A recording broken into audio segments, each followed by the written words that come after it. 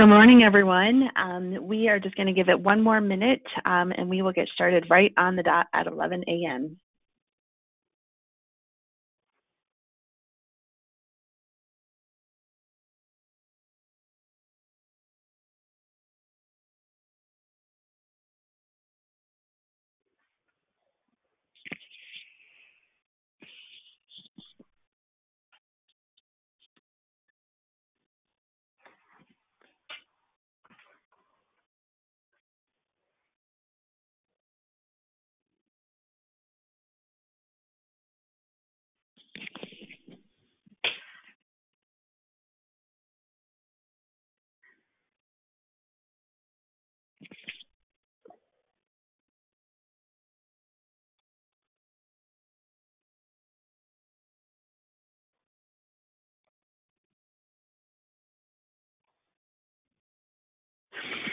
All right, let's go ahead and get started. Um, it's 11 a.m. and we want to be prompt.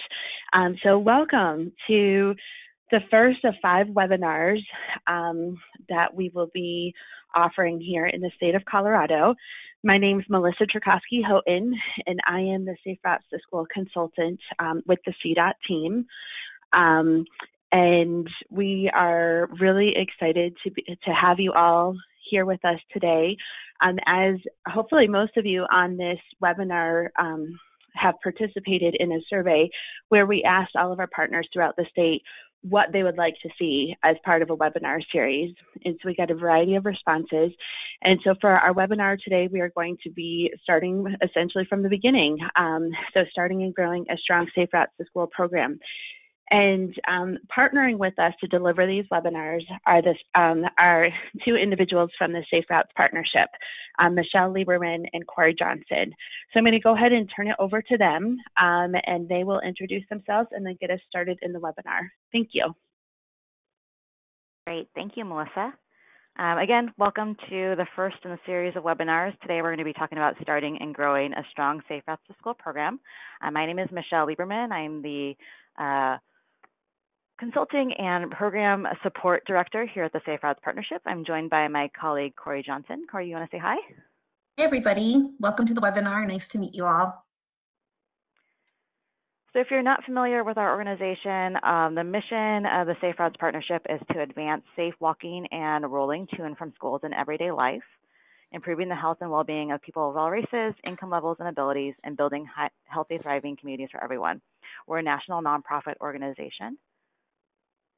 And our vision really is to create a um, safe, active, equitable, and healthy community for everyone, whether it be urban, suburban, or rural.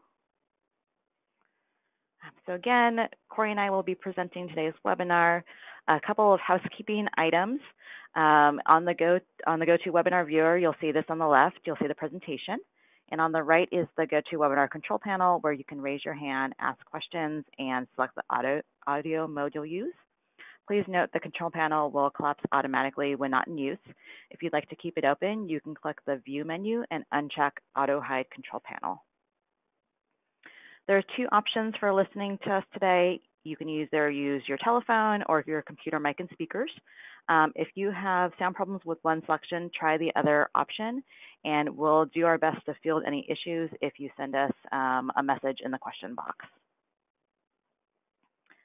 So even though everyone's muted today, we really want to hear your input and questions. You can use the questions box to ask speakers questions for the Q&A portion at the end of the webinar. Um, we'll try to answer as many questions as we can during that time. Today's webinar is being recorded and will be available online. We'll provide the link in a follow-up email so you can refer back to it and share it with your colleagues if they weren't able to attend today. So our agenda today, we're going to talk about what is Safe Routes to School.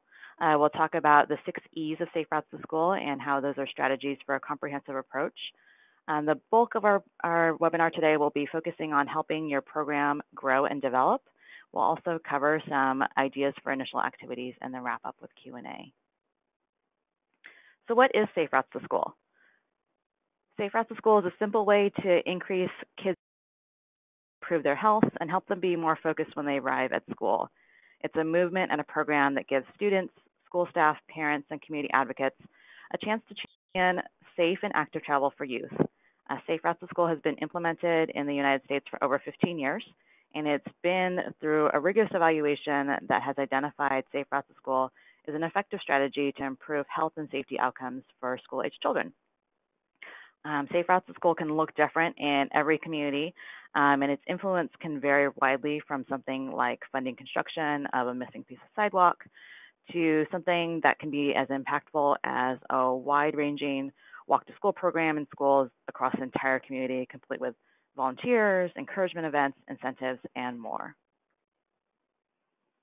So champions in local communities around the country and also working at the state and national levels started Safe Routes to School because of a noticeable and concerning decline in the number of kids walking and biking to school.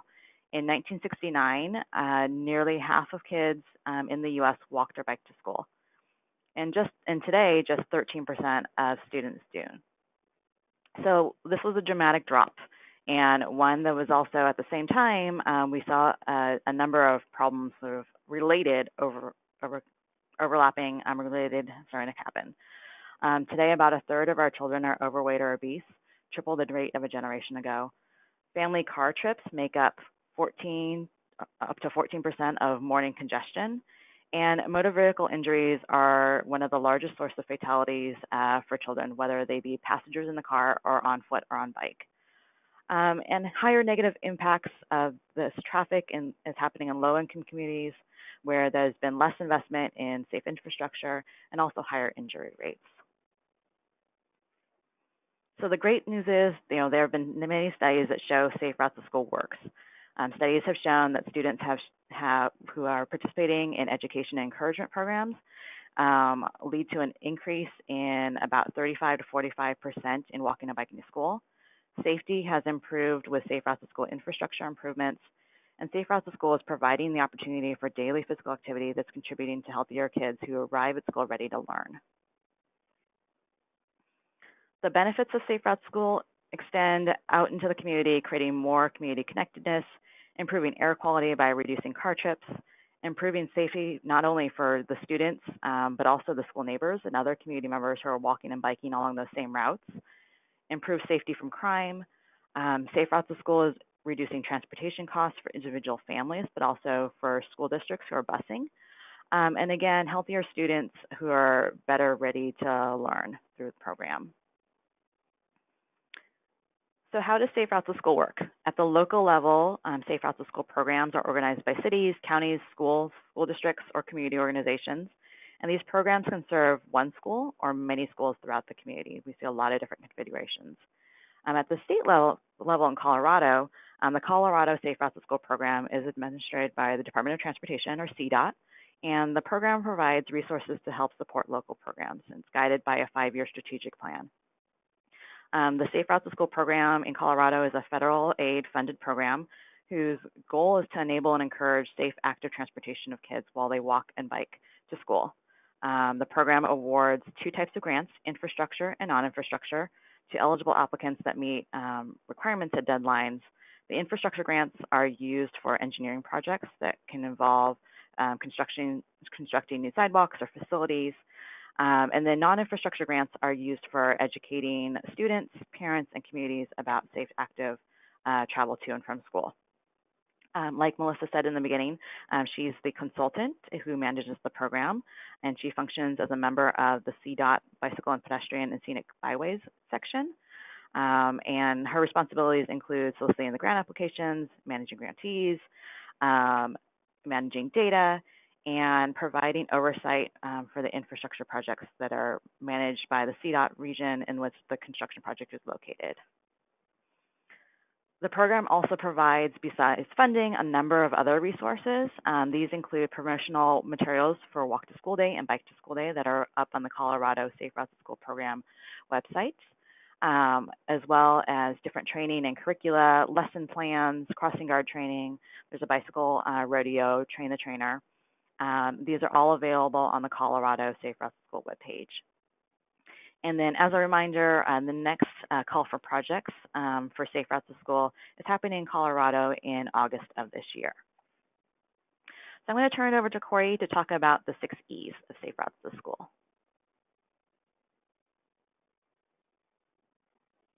Thanks, Michelle. So I'm going to share a bit about the um, the six of the of starting a comprehensive Safe Routes to School program. And Michelle, can I advance the slides, or can you advance the slides? There we go. You should have control now. So, um, so co- comprehensive um, safe routes to school initiatives have been shown to be more effective in increasing physical activity and reducing injuries. And so the six routes, um, the six E's of safe routes to school kind of summarize the key components of a comprehensive integrated approach to safe routes to school. We also have a bunch of information on our website um, about the six E's, going more in depth about each one and giving you a few ideas for what you can do in your school, in your community. But I'm gonna um, just do like a short overview today of the of the six E's um, of a comprehensive safe routes to school um, program.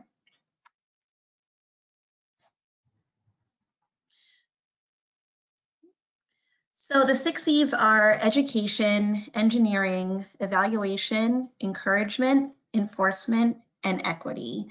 Um, and again, as I mentioned, studies have shown that a comprehensive approach to safe routes to school is more effective. So including all of the all of the six E's into your um, into your safe routes to school um, initiatives. And you know, obviously they don't necessarily all have to be balanced. There might be some situations where there needs to be more education over engineering or a situation where might need to be more encouragement um, over, over enforcement. But the idea is for all of the six E's to kind of work together to create a really comprehensive, um, comprehensive program. Um, for example, a, a, study had shown that more than 800 schools in four states um, found that safe routes to school interventions resulted in an 18% increase in walking and biking when there was engineering improvement um, like a new crosswalk or a bike lane, um, a 31 a 31% increase um, over five years of educational and encouragement programming, and then a 43% increase when engineering was combined with the education and encouragement programming. So again, it's really strength in numbers um, and, and an all hands on deck approach with the six E's. So to get started on the first one, oops we have um, education. So education is all about providing students and the community with the skills to walk and bicycle safely and educating them on the benefits of walking and, bike and, bike and biking um, and teaching about a broad range of transportation choices. And as we know, transportation is changing all the time now. So, you know, even thinking about um, scooters or students who might travel on um, on buses, whether it's, um, you know, a regular yellow school bus or, or a city bus, um, just making sure that everybody knows about all the different transportation options um, that, that are available. And education can happen in many different ways, from modeling safe behaviors to explicit safety instruction like a bike rodeo, Older students might also like to take a hand, more hands-on role in an educational piece by creating safety campaigns or events for their peers. I've worked with a lot of middle school and high school students who run their own safety campaigns around distracted walking and, and safe driving. Um, the students in this in the in the photo that's displayed there on a bicycle um, on a traffic garden course, like a bike skills course. Um, so they're, you know, doing more hands-on, um, you know, bicycle bicycle safety training. But it basically can kind of look like uh, whatever makes sense in in your community and your setting.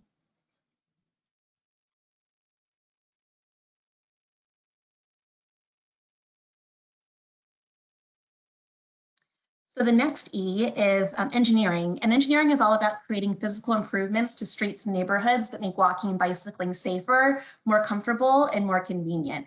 And um, again, students can also play a role in, in creating a safe physical environment by participating in walk audits um, engineering is also an opportunity for you to connect with your local DOT and bike ped organizers um, if they if you want to schedule a walk audit together and um, and and kind of work together to create those infrastructure improvements that make the area around the school a lot safer. Um, this can also help provide um, important data that, can help you advocate for change. So you know noticing if there's a lack of um, crosswalks or, or speed bumps. Um, a, a, walk audit and some more engineering approaches can be a great way to collect that data and say, you know, these are the changes that we need to see to make our um, area around our school safer. So next up is encouragement, and encouragement is all about generating enthusiasm um, to, to increase walking and biking um, for, for students. And you can do this through events, activities, programs like Walk and Bike to School Day, bike rodeos, walking and biking campaigns, and I'll share some more, um, some more concrete ideas a bit later.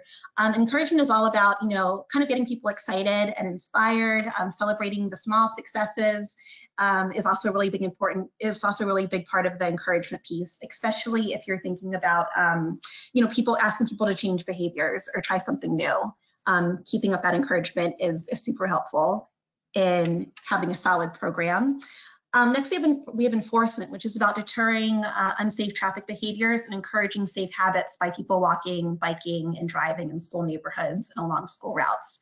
Also, enforcement does not necessarily mean the police. Um, it can include school staff, crossing guards, community members, and peers. And it can also be about holding each other accountable and working in collaboration with, with, with your community. Next up is evaluation. So obviously we all do, we do all these great things. We want to make sure that we know what's working and what's not working so we can adapt, adapt and get better for next time. Um, so evaluation is really about assessing which approaches are more or less successful and ensuring that programs and initiatives are supported um, are supporting equitable outcomes and identifying unintended consequences or opportunities to improve the effectiveness of each approach.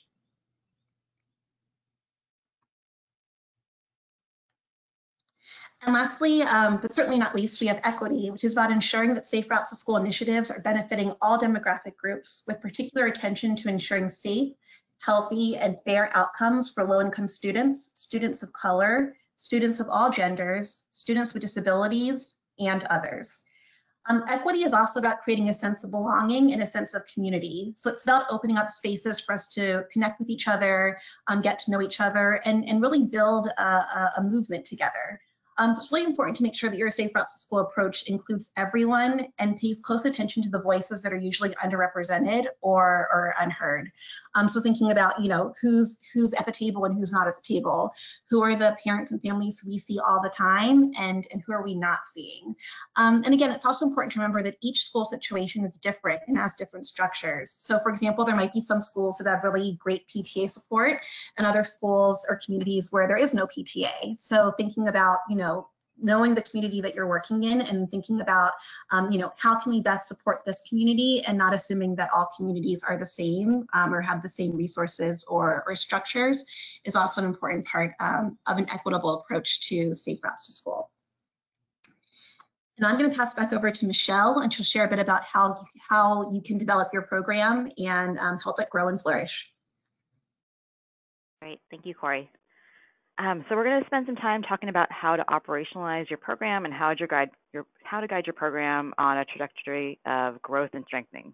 We really want to create strong programs, um, so we're going to talk about the stages that programs go to get there, um, and then the components that you will want to think about to really create and build that strong program.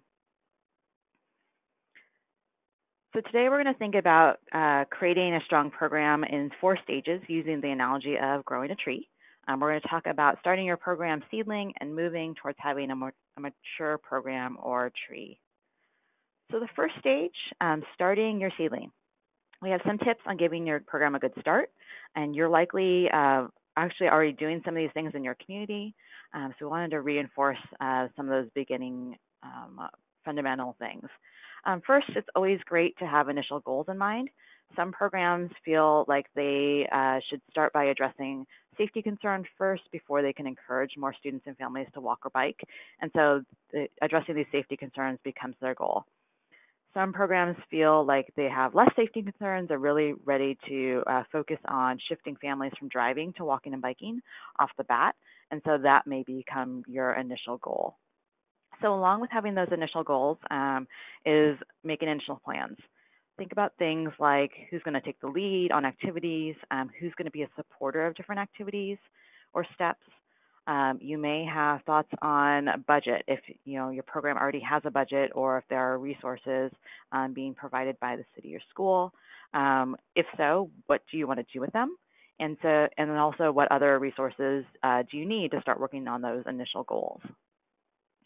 Um, it's great to kick off education and encouragement activities right away. Um, even if they're small, these can create relationships and enthusiasm at one school or more than one school to get families on board and kids moving. Um, also, at this stage, you're probably beginning to develop relationships with key partners. Um, and it's really great to outreach to the city, the school district, school board, um, PTA, community groups, and get their ideas and also build support. And then early on, many communities are making opportunistic um, infrastructure improvements. These can be low cost, um, easy fixes made by um, the Public Works Department or Engineering Department um, or added into existing projects. And so those engineering opportunities can come along as you are developing um, your program. Um, some programs honestly get stuck at this stage. so just, I think our key message is always keep moving. Um, it may seem like there's a lot of things to work out, but keep come along. So next stage, growing supportive branches. Uh, once you've got your things kind of up and running a little bit, really thinking about developing supportive structures. You'll want to develop more of your program framework and be cultivating the supports that are going to make your, pro your program strong and long lasting.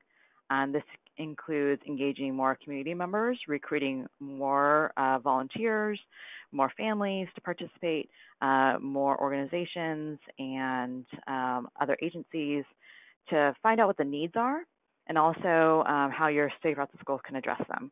This could include doing surveys, um, doing observations around the school, or just talking to more people. This is a great time to create a task force, which we'll talk about more shortly. Um, this task force is a way of bringing together um, and organizing different stakeholders and agencies to work together and focus on immediate activities as well as your long-term uh, goals and needs. Um, at this stage of creating those supportive structures, um, you'll probably be thinking about creating a more formal action plan to assist with prioritizing activities and having a guide for your local program that, to make sure you're addressing local needs and matching your resources.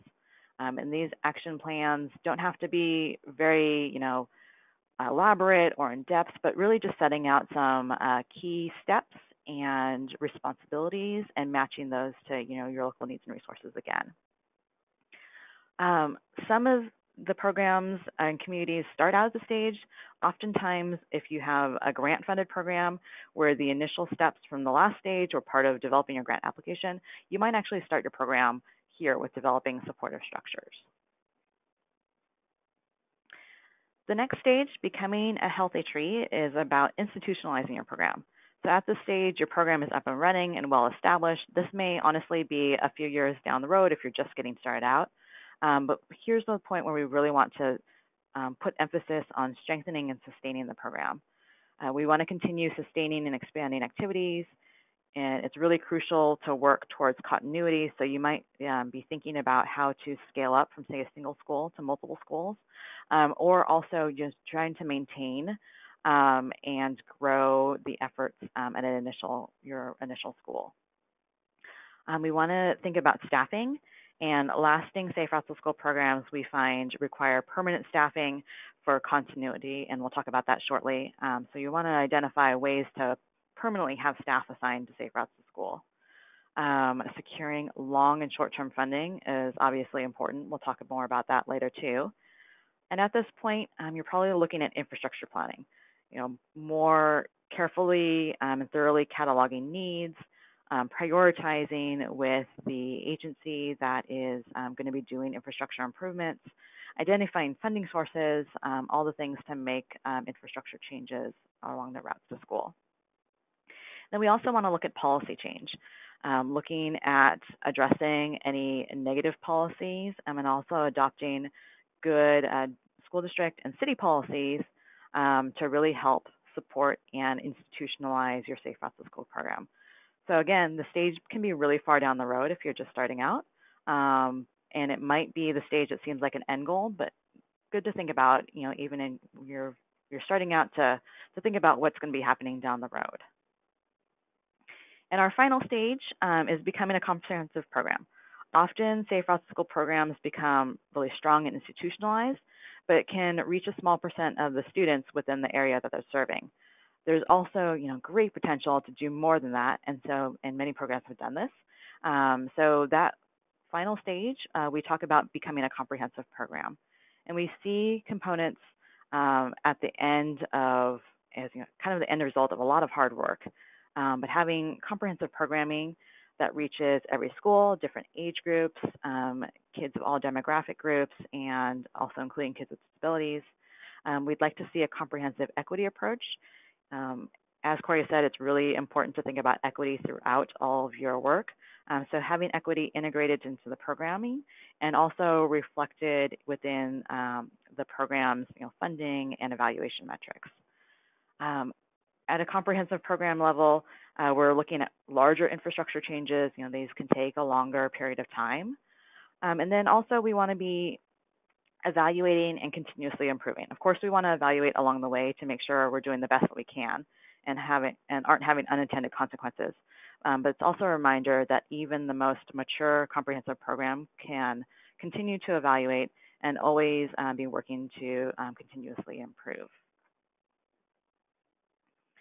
So as I talked about these stages, I've mentioned a number of things that we think are really essential components of a Safe Routes to School program. Um, these are the things that we really see uh, present in strong and sustainable Safe Routes to School programs across the country. Um, so you might not have all these things in place in the start, but we want uh, we think that they're things that you should be thinking about and ultimately incorporate into your program. So I'm going to talk about these in more detail. Um, they are a Safe Routes to School coordinator or staffing, a Safe Routes to School task force. We're going to have a sidebar on program structure and where it lives. Um, we'll talk about funding and then Safe Routes to School policies. So what does a Safe Routes School uh, coordinator do? Um, having a coordinator is really essential to a strong program. Um, this is the point person who takes the lead so nothing falls through the cracks. It can be a single person or a person supported by additional staff and volunteers. Um, so a Safe Routes School coordinator is managing the overall program, leading the task force when there's a task force, being that coordinator, recruiting and training volunteers and others to implement uh, the education and encouragement activities, um, identifying and prioritizing concerns, again, um, really looking at strategically expanding the program, identifying funding opportunities, and leading evaluation. Um, so many communities start out with a volunteer coordinator. Um, and in terms of resources and needs early on, this may totally be appropriate.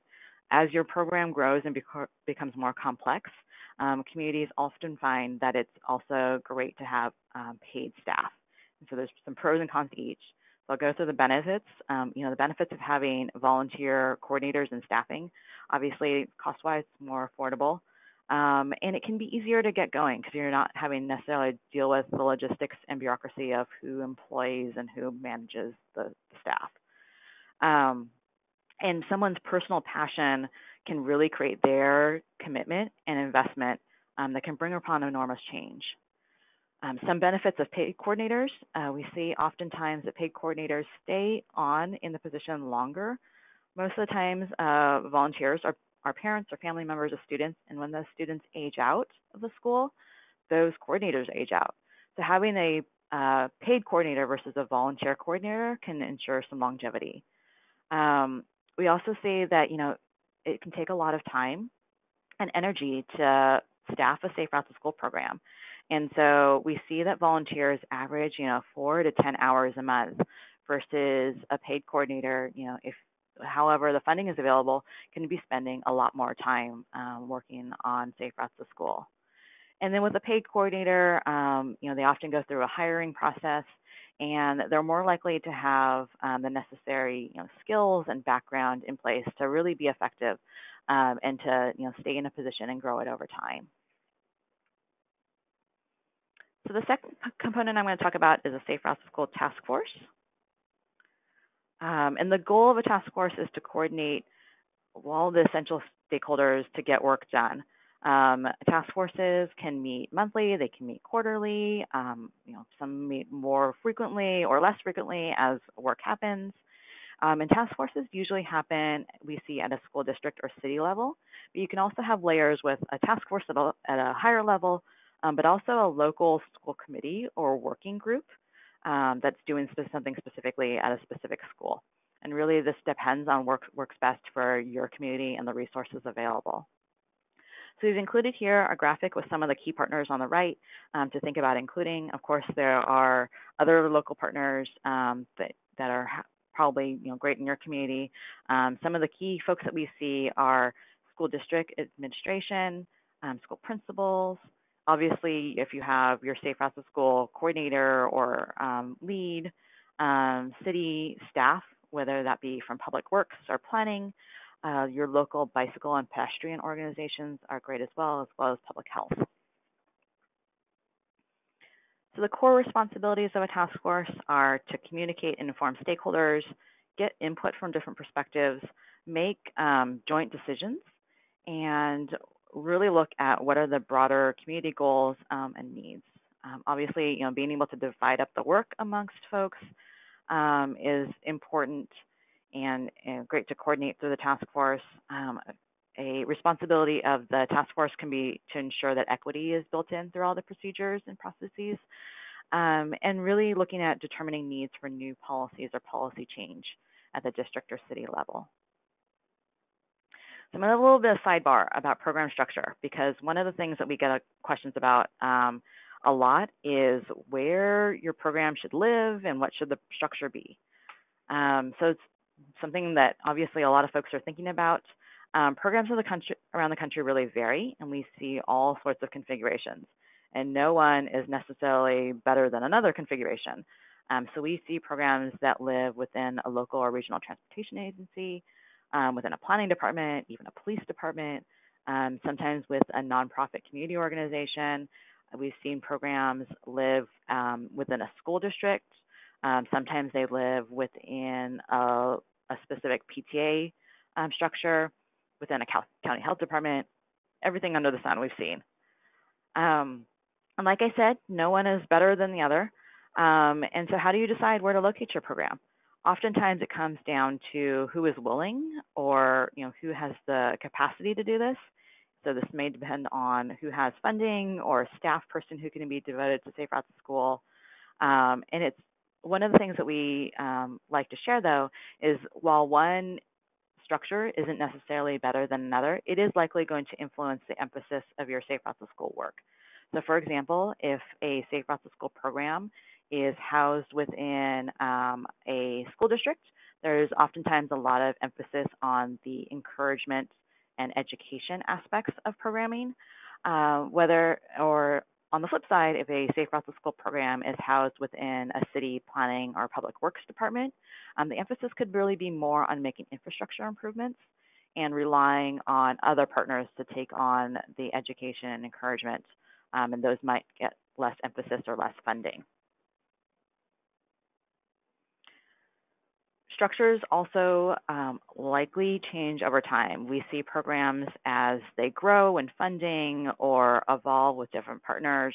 Um, you know, programs can be affected by the formality and growth, and different parts of the work can be taken on by different um, entities. And so that's why it's really important to have that task force and those structures in place to bring everyone back together. So next essential component of Safe Routes to School and Safe Routes to School programming is obviously funding. Uh, we need funding for staff salaries, for infrastructure improvements, for the incentives for programs, um, and expenses for activities. So some of the common funding sources, um, volunteer time and in-kind uh, resources are um, a big one starting out, honestly.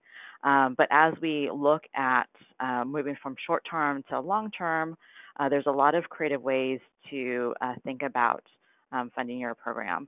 Um, so eventually, um, you'll probably be wanting to think about are there health funds available? Um, some of the common ones are you know, state or federal CDC grants, as well as local healthcare foundation grants and local community benefits funding. Some programs are funded through foundation grants. Business sponsorships can help bring in support. Um, it's great if a school district or a city is willing to provide money out of their general fund to support, support Safe Routes to School. And then one of the largest um, funding supports for Safe Routes to School we see is transportation funds. So in Colorado, the Safe Routes to School grants um, as well as any uh, local transportation measures. And the last uh, aspect or component that we see for a strong um, Safe Routes to School program is Safe Routes to School policies. Um, this is a little bit of a teaser because on our next webinar, we will focus specifically on Safe Routes to School policies at the um, municipal policies as well as district policies. Um, but policy change is really essential to long-term change and um, moving from moving more students and families from driving to walking and biking and doing that safely. Um, policies can come in different forms, but in general, it's a written law, rule, or practice that is binding and is applied broadly. These can include school board policies, safe routes to school resolutions, um, a city's complete streets policy, or a city's comprehensive plan.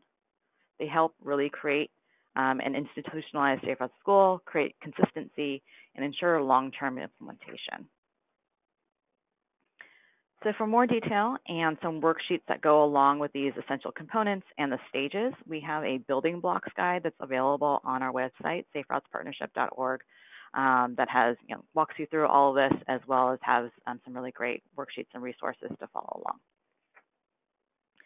So I'm going to turn it back to Corey to talk about ideas for initial activities for your Safe Routes to School program.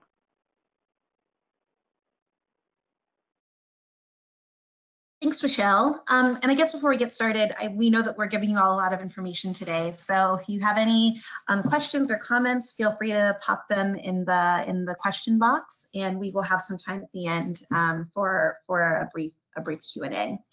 Um, so I'm going to share a few ideas for um, for getting your Safe Routes to School program up and running. So a few, um, yeah, just a few starter activities.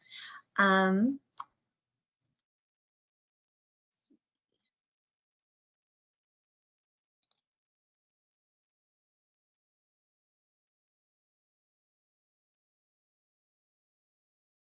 And so with um, you know with with starting up a program the idea is that um, you know initial activities are all about buy-in and um, you know meaning that it's okay to start small and that celebrating the small successes are really important um, as i mentioned before. So it's all about building momentum and and and getting started um, and thinking about activities that can inform and evolve into into larger programs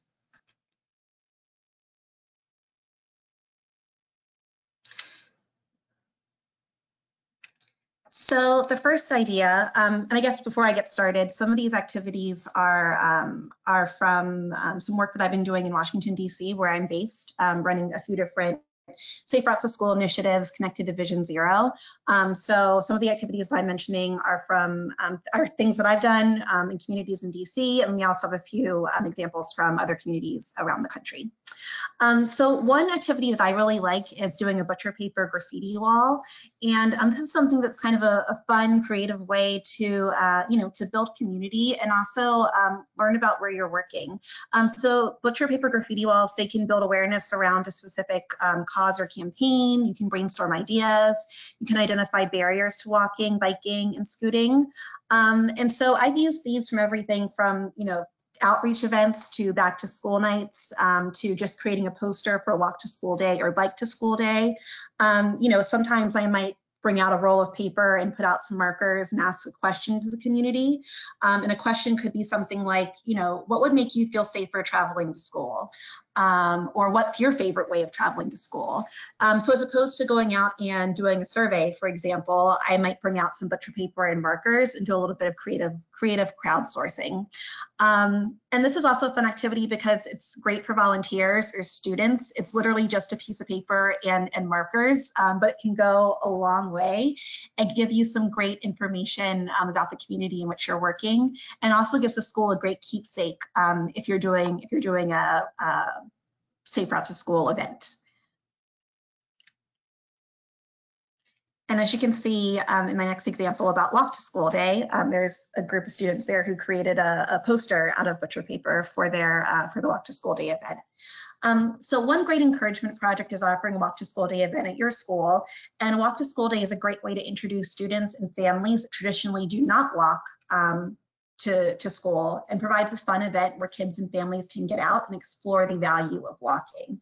Um, we also know that there are some, some routes to school that are not walkable for various reasons. It might be too far away or too unsafe. Um, so some people organize remote drop-off locations where students will then get driven to a certain spot and then walk to school from, you know, let's say a block or two away from, from the school building. So again, thinking about how everybody can participate and, and be and be involved. And um, the Walk to School Day is um, is uh, observed every every October. Um, we also have a lot of resources on our website about um, planning a walk to school day, um, but gen generally they are um, a fun, um, safe, and, and exciting way to encourage more, more walking in your community along with Walk to School Day, there's also Bike to School Day, which is very similar, except it's all about biking. Um, walk, a Bike to School Day is observed every year in May. So coming up this year, I believe that Bike to School Day is May 6th. Um, and again, it's just another way to um, to encourage biking, biking in your school community, giving people tips on uh, on safe biking behaviors. Um, some bike to school day events that I've seen have involved different bike rodeos, um, bike helmet giveaways. Last year, I worked with one school that did a little bike license plate activity, so students could make a little license plate, almost like a car license plate, for their for their bike, um, and also bike giveaways. Um, and we've also partnered with our local Safe Route, um, Safe Kids Coalition for both Bike to School Day and Walk and Walk to, walk to School Day. So if there's a Safe Kids Coalition in your area, um, they'd be a great uh, partner to reach out to about organizing a Walk to School Day event or a Bike to School Day event. So next up is um, a walking school bus. And a walking school bus is a fun and safe way to get kids um, physically active as they're traveling to and from school with adult supervision. So a typical program usually has a bus, quote unquote, of students that walk along a set route with one or more adults leading it. Um, and so the adults pick up students and students and children along the way at designated stops and walk them to school. So, it, you know, it sounds like it, it it works the way that it sounds. So it's like there are actual stops, the way that there'd be stops on a regular on a regular bus. Um, and the process is reversed in the afternoon on on our on the way home. Um, and so, you know, sometimes walking school buses are led by adults, either volunteers or staff. Um, working as, as, a team help takes takes the burden off of individual parents because it is definitely a time commitment. Um, we've also found that walk, walking school buses help reduce tardiness, um, where you know students feel you know like they know what time they're supposed to be at their stop, and they're excited to join the to join the bus, and their uh, you know parents feel comfortable and families feel comfortable because it's led with adult supervision. Um, and then along the walking school bus route, you can also incorporate various safety education um, uh, activities. So showing kids how to cross the, how to safely cross the street or listen to a crossing guard or uh, pay attention to a stop sign or traffic light. All of that can be included in a walking school bus program. And this is one example out of Pryor Creek, um, Oklahoma, where um, the community has organized Walking Wednesdays, where high school students lead a walking school bus. Um, and the students, um, they work, work with three elementary schools. Um, these are high school students, and they were trained by um, local police staff, city staff, the, the, school district, and Cherokee Nation to lead the walking school buses. Um, so again, it's a way of involving older students in Safe Routes to School programming, kind of giving them a leadership role, and making this something that's really all about the all about the community and all about working in collaboration.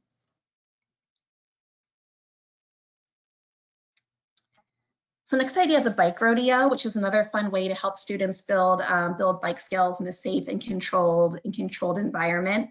Um, you know, some schools have bike fleets or um, that either live, you know, on school site or that are rotated around different schools. Um, but you know, getting getting kids on bikes and doing a little bike rodeo, um, you know, skills course is a great way to um, get students comfortable with riding and and the rules of the road. Um, and you know those can be led by you. Um, I've seen them being led by teachers and, and school staff um, or trained you know trained cyclists. Um, your local bike groups or bike advocates might have people who are used to um, you know doing some bicycle training. Um, and bike rodeos are fun for the whole family. I've seen them done with the littlest ones. I think the students in the photo are pre-K all the way up to up to older students. and next we have a safety awareness demonstration. So um, this is actually an event that I worked on here in Washington, D.C. There was a community member who did not have kids at the school, um, but she was concerned about a lack of a, drop, of a safe drop-off, a drop-off zone in front of a school in her community. And so she decided to help, um, you know, to organize a safety awareness demonstration in partnership with the school, um, law enforcement, other community members, and then the school had a student safety patrol um, group. So we all kind of came together and worked to lead the safety awareness demonstration um, to DDOT or Department of Transportation know that um, this was an unsafe um, school drop-off area and that we wanted to make some some changes to improve that. So in this situation, we worked with a local um, art organization to help the students create flags, uh, like bright colored flags to wave at their at their demonstration. So we did some work prior to the event. We came out and brought some flags and markers and stickers and paint, and the students were selected. Um, the student safety patrols went and made um, and made their little flags for the safety demonstration. And then while we were doing this, they also shared with us some of their concerns around not being able to cross the street safely or almost being hit by cars. So um, it was both a creative activity and also a chance for us to learn a bit more about what students and school um, and school staff and families were, were concerned with. We also invited um, the, our police officers out to come and and create um, and create the flags with the students. Um, in the community where I work, there's a lot of there are a lot of different uh, feelings around working with police. Um, some people are fine with it. Some people don't want police involved either because they don't feel unsafe or they just had negative experiences of working with law enforcement. Um, in this case, we got the go ahead to bring the, the bring the uh, police officers in, and they were great. And they also got a chance to talk with students and learn a bit more about what they as police officers could do to help improve improve safety on the street. And these are a few of the flags that the students created that they then took out um, the following week and kind of waved um, as, as during school arrival. Um, so as students were being dropped off and as people were, you know, driving across the street, they encouraged people to slow down, to stop. Um, and out of this event, we actually got, um, uh, it wasn't a speed camera, but the speed limit was lowered in front of the school. And they're working on putting an official crosswalk in front of the building and also creating a more, um, a safer designated drop off zone. So again, that was like a fun, creative way um, to um, you know, do an educational and encouragement activity that also led to some concrete changes. Um, so those are just a few different ideas for uh, activities to start your Safe Routes to School program. We have a lot of um, additional resources available on our website. Um, we have resources on how to start a walking school bus at your school, how to get a bike train rolling on your school. A bike train is very similar to walking school bus, but it's with a bike instead. Um, we also have resources on safe routes to school messaging, so creating a communications toolkit for schools and school districts. Um, we also have, have, a facilitator's guide for engaging middle school youth. Um, so, you know, again, working with older students is always a challenge. I'm just trying to engage um, engage older students is a challenge. So we also have a few a few tips for you on working with older people in safe routes to school. Um, sometimes there's a perception that safe routes to school is just for elementary school, but it's really not um, older students commute to school too. So um, involving them in the process is, is really important. Um, we also have a few resources on um, planning a walk audit at your school. So like I mentioned earlier, um, you know, that engineering piece um, can be can be a great approach to a comprehensive Safe Routes to School programming a program. So thinking about how to um, involve students in that walk audit process, um, we have some uh, resources available for that. And um, we also have um, a few resources for how to create pop-up um, Safe Routes to School projects. So, you know, just like small demonstrations um, and, and a few different ideas for, um, for, for pop-up events that you could do at your school that, um, you know, don't necessarily take a lot of resources or, or time that, that could have some really great long-term impacts for improving safety around your, around your school community. And as we mentioned at the start of the webinar, that um, all of our webinars are available on our website for, uh, for downloads. You just go to saferoutespartnership.org and click on the resource tab um, and then click on webinars. You'll see all of our webinars on the left-hand side of the page. All of our past webinars are there for you to uh, for you to enjoy and, learn from. So we highly encourage you to visit our page to check out our webinars and our other um, our other resources that we have offered on our website. Um, we also have an email discussion network where you can connect with other Safe Routes to School practitioners. Um, so obviously it's great to talk to us, but we also want you all to talk to each other and share your ideas and expertise, um, especially people who've been, you know, kind of at this for a long time. Um, you know, you're the ones who are, you know, doing this day in and day out. So we want to make sure that you all have a chance to um, to connect and and share and get inspired by by new ideas and support each other. Um, and also, we're always happy to like connect you all if you have other um, if you have other you know questions or you know have specific needs um, we work with communities across the country that are doing amazing work um, and we'd be happy to kind of you know support you in, in making those connections and and getting some new uh, some new ideas And so we wanted to leave plenty of time, um, so that was a lot of information and a lot of us talking, plenty of time for questions and answers. If you have any questions about anything that we've uh, we've talked about, if you have questions about uh, anything that needs to be clarified, anything we did not cover, um, this is your chance to to ask us questions. So as I mentioned before, please feel free to drop some questions in the question box um, or in the question box if you have them, and we'll spend a few time um, doing a doing a Q&A.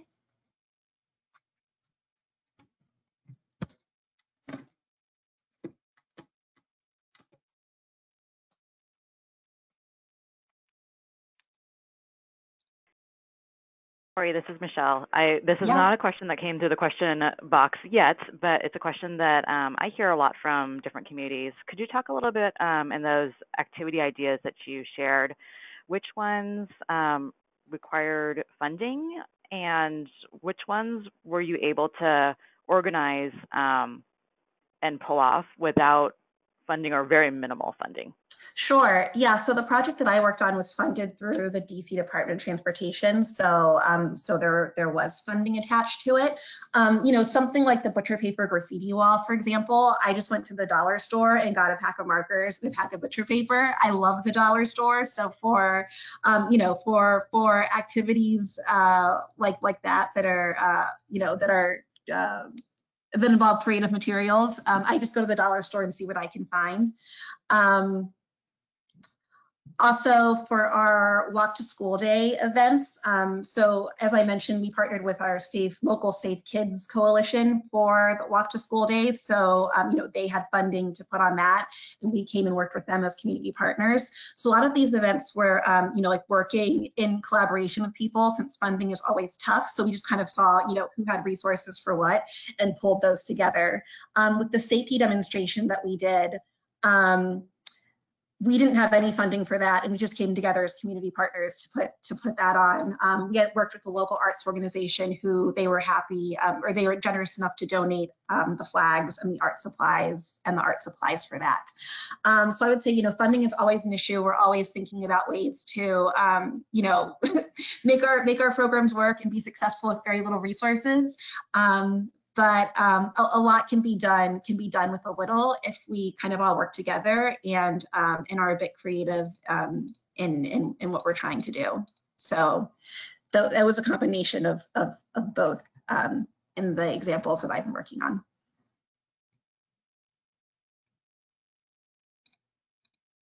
And I see another question in the question box.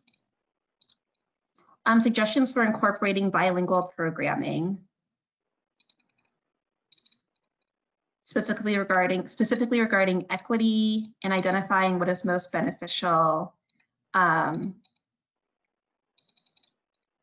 for each neighborhood. So yeah, so incorporating bilingual programming, um, you know, we do, uh, as I said, we do a lot of work across the country. So there are a lot of safe routes to school programs that do um, that do have uh, bilingual programs, making sure that all of their, you know, posters and flyers and outreach materials are in, you know, multiple languages. Um, you know, having community events or community meetings where there are, um, you know, where there are interpreters that are provided. Um, that's been really helpful. And again, working in partnership has also been great for that. So working with community members who, you know, speak the languages um, that are they're represented in the student body, working with other community partners has been really helpful, you know, in, in making sure that um, that that there's a, a equitable a multilingual approach to safe routes to school programs. And Michelle, I don't know if you have any other specific um, examples. Um, we also have a number of resources on our website, um, and they're in a special uh, section that um, are in Spanish. Um, so we do have the Walking School Bus um, toolkit available in Spanish. So if you're working with community members who speak Spanish, they can um, they have you know access to those materials as well. we also have some of the communications and talking points um, that Corey mentioned in that communications toolkit available in Spanish. I believe we have some um, information available in maybe a couple other languages um, too as well. And there's a number of programs, like Corey mentioned, around the country uh, who are working in multilingual you know, communities and have translated um, their materials into various languages. Um, and so, you know, those are always great to draw from as well, so we're not having to reinvent the wheel. Yep. We also have another, another question about how to change the philosophy of cities from safe zones to safe routes to school.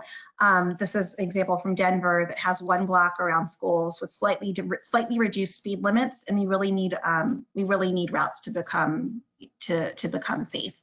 Um, you know, that's something that I've been working on a lot here in in DC, kind of that shift from you know school school zone to to safe routes to schools. So I've been working closely with our um, with our city's um, Safe Routes to School coordinator um, and inviting them to some of these outreach um, and, and, engagement um, events um, to, you know, to kind of talk about the, the, realities of what it's like traveling to school um, in a city. Um, block audits have been a great way for uh, for us to kind of do that and get more get more buy-in uh, from the from the city and state level. Um, so we've organized walk audits with students and community members, and we invite somebody from the Department of Transportation, you know, out to kind of walk around and see, you know, and see what it actually looks like um, on a street. So that's been one way that's been, uh, you know, that's that's had some success success um, in DC. Michelle, I don't know if you, have any, if you have any other examples from uh, communities that you've worked in around um, switching from yeah. safe zones to safe routes to school. And in addition to the walk audits, which are a wonderful tool, especially if you you have those decision makers um, involved in hearing directly from the students from the community, um, looking at uh, collision data, and if you're able to um, parse out collision data, also you know showing um, those that have involved youth walking and biking um, to show that the collisions are happening, you know, not just right within those um, that school that immediate like one block radius, um, but along you know the routes. And if you're able to map those out, uh, in addition to where uh, people are living, those can be uh, really powerful graphics. Great. Um, and I think we'll have time for one more. So how to overcome marked community anxiety because of a publicized assault on a young child in a community while walking to school. Um, you know, so again, we know that this work, um, you know, it's it's tough and there are situations that that arise that definitely not only impact, um, you know, a, a, route to school, but also just community safety, um, safety in general. Um, I think that, you know, one way could just be kind of like following the lead um, on the community. So if there are community meetings around, you know, around what happened or ways for you to kind of be a supportive ally in a community that's dealing with a situation like this, that would be, you know, that would be that would be helpful. Um, and I think also just, you know, like talking to people, um, you know, kind of engaging parents and uh, and and engaging community members, um, and you know, just kind of, um, you know, getting to know um, you know like what their what their anxieties are and and also asking how you can be a support um, i think that sometimes we feel like we have to kind of go in and have all the answers and sometimes it's just asking you know like what what would how can i how can i help you um, or how can i help this community um, you know feel a bit better and and heal. Um, and oftentimes the community members have the best, you know, have the best ideas or, or ways for um, or ways for you know doing that. Um, I can also, I know we're running short on time, so I can also do a bit more thinking and get back to you if I have some concrete strategies. But I think that, um, you know, being a being a listening ear um, and asking the community how you can support is always a great way to kind of start, um, you know, building those bridges and and um, and beginning to heal um, for what I'm sure was a really tough situation.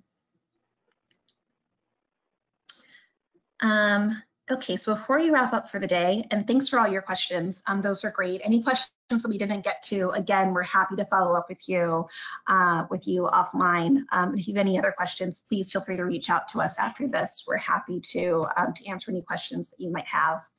Um, so following this webinar, we will ask you to take a brief survey to let us know what worked for this webinar, what didn't work, um, other, other ideas that you would like for us to include in future webinars. And also if you're somebody who um, would like to present on a future webinar or share some of your expertise or information, we are always looking for, uh, for panelists and speakers. Um, so please feel free um, to, to, to join us in, um, in presenting at a future webinar.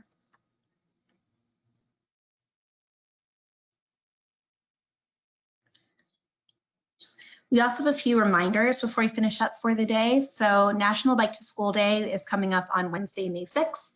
As I mentioned, we have plenty of resources on our website about organizing a, Bike to School Day event. Um, and again, we're always available to help, um, you know, if you have um, ideas or need suggestions for planning one, um, we're, we're happy to help happy to help provide some resources for that as well. Um, you can also sign up for the Colorado Safe Routes to School newsletter. Um, and you can email Wendy McMillan um, to, to get signed up um, for the newsletter. Um, there's also an upcoming Safe Routes to School grant cycle. Um, I believe it will be, it's anticipated to open in August.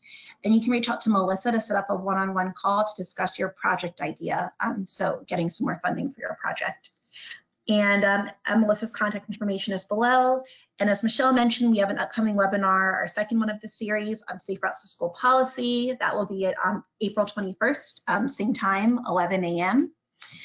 And here's the contact information for uh, Michelle, and um, my contact information. Again, feel free to reach out to us um, if you have any questions, um, anything that you would like to see addressed at a future webinar. Um, we are definitely resources who are here to help you and support you as you um, as you grow and develop your great programs. So Michelle, do you have anything else to add before we close it out for today? Or Melissa? Or Wendy? Just one reminder um, from Melissa um, we should mention that all K through 8 schools will automatically be receiving the materials from CDOT for Bike to School Day, those promotional materials. And let's see, Melissa, did you have anything else? okay, there we go. I'm unmuted. Um, yeah, just to expand a little bit for the Bike to School Day materials, in the past, some of you um, may be familiar. We've asked you to request, um, make a request for each of your schools um, for those materials.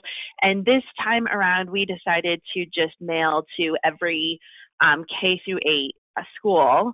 Um, so any K through five, or um, if there's a K through eight, whatever the um, configuration may be.